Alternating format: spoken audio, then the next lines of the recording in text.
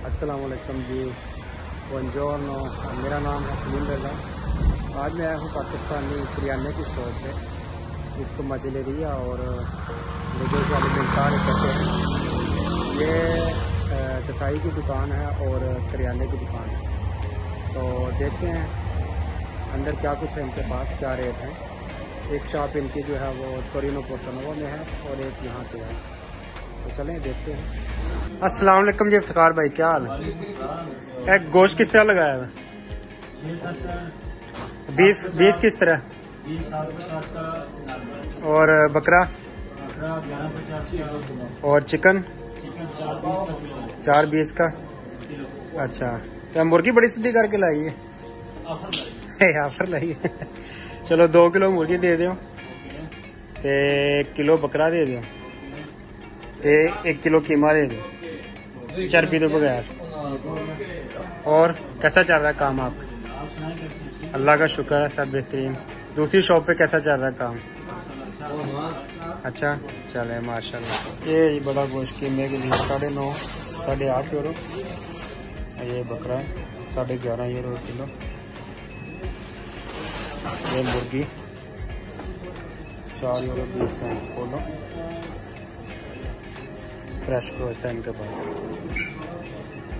इफ्तार भाई, हलाल गोश्त कहाँ से लेते हैं आप? कहाँ से लेते हैं? ये कौन करता है हलाल गोश्त सारे मुसलमान? मतलब ये हलाल शॉप है, हलाल गोश्त मिलेगा तो ये मारोक के हैं जो करते हैं, मुसलमान है वो भी? सारा जी ये देखें हलाल का स्टिकर लगा। सही है। सही। तो जिसको भी हलाल गोश्त चाहिए, वो आपकी शॉप पे आए। कोई भी चीज़ हम हमने हर चीज़ हलाल है हंड्रेड परसेंट मुसलमानों के लिए जी, ये गोश्त, हलाल गोश्त है इनके पास सारा। सुबह नौ बजे से शाम ईद वाले दिन भी छुट्टी नहीं है। तो चौबीस घंटे सर्विस है। हाँ फिर सही है। ठीक है जी ईद वाले दिन भी अगर आपको गोश्त चाहिए पाकिस्तान में अक्सर शॉर्ट हो जाए इफ्तार भाई ऐसे कसाई हैं कि ईद वाले दिन आपको अवेलेबल है। अपॉइंटमेंट लेनी नहीं पड़ेगी। वो दो भाई और भी हैं एक बंगाली भाई हैं सर नहीं उठा रहे तो गोश्त ही करी जा रहे और एक और भाई भाई आपका क्या नाम है? नुमान और आपका? सादिक, माशाल्लाह। सादिक और अमीन है? चलें जी, माशाल्लाह अच्छा हो गया।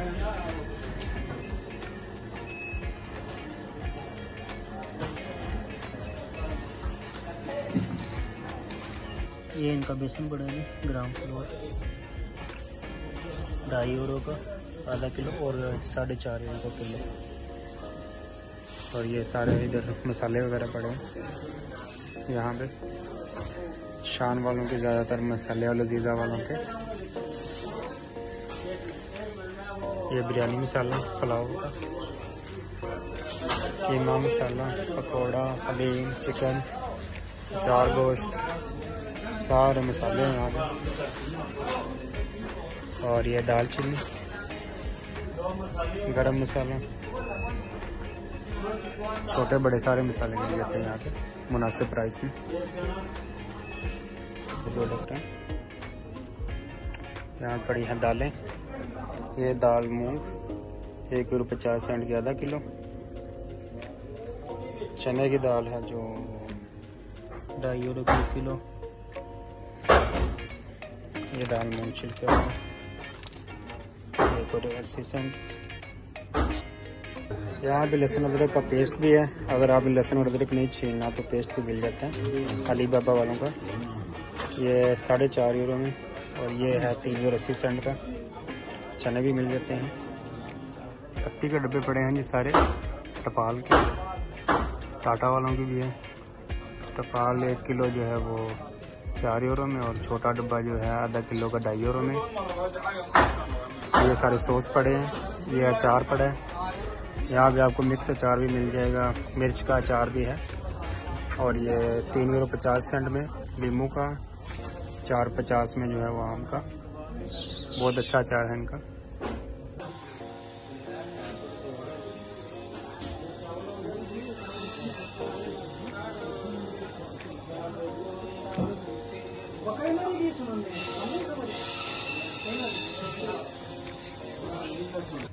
ये है जी गाला बिस्किट। गाला भी मिलते हैं।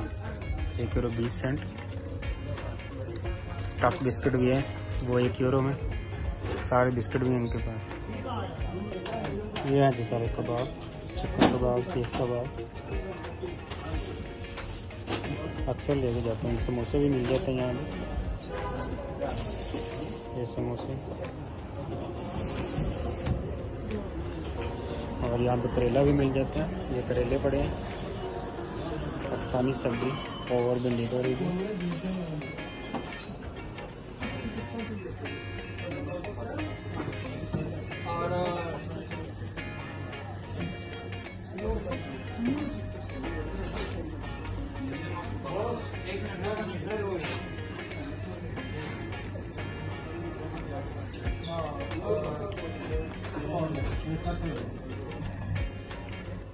यहाँ पे जो आपको सुरमा मिलेगा? ये तीन सुरमा और ये वैसलिन, पाँच अस्सी। काश्मीर वालों का सुरमा तीन पचास। ये सारे जो हैं पाकिस्तानी प्रोडक्ट हैं। ये जली बाबा वालों का तवा, रोटी बनाने के लिए। ये इसकी बैग है। और ये फ्रंट से काफ़ी बड़ा है ये लोहे का।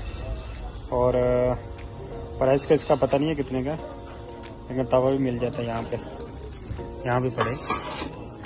और सबसे बड़ी बात और अच्छी बात कि यहाँ पे जाए जाय नमाज़ भी मिलते हैं। ये देखें, मैं भी लेके गया था यहाँ से आठ यूरो का। बहुत अच्छे जान नमाज़ है इनके पास। किचन का भी सामान मिल जाता है यहाँ से। टिशूज़ वगैरह, सारा कुछ। ये आप देख सकते हैं जी। और यहाँ पे वो बेलन वगैरह भी मिल जाते हैं यहाँ पे रोटी बनाने के लिए। ये सारा सामान। यहाँ पे जो है प्रेशर कुकर भी मिलता है। ओवन भी मिल जाता है। ये सारा सामान है बहुत अच्छे से सेटअप किया है इन्होंने, माशाल्लाह। ले जी फोर्टी फाइव और तीस। पाँच किलो आटा और एक पेस्ट दो किलो चिकन एक किलो मटन और एक किलो बीस का कीमा। ओके जी इफ्तार भाई। शुक्रिया। अल्लाह हाफिज। ओके अल्लाह